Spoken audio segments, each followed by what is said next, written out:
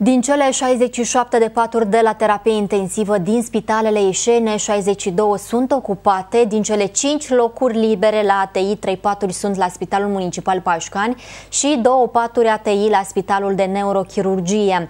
Pentru pacienții cu forme medii sunt disponibile în spitalele ieșene 239 de paturi.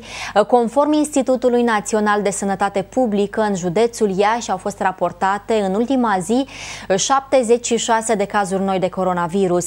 De asemenea, în ultimele 24 de ore s-au înregistrat 3 decese în rândul persoanelor confirmate pozitiv, numărul total de decese de la începutul pandemiei fiind de 444.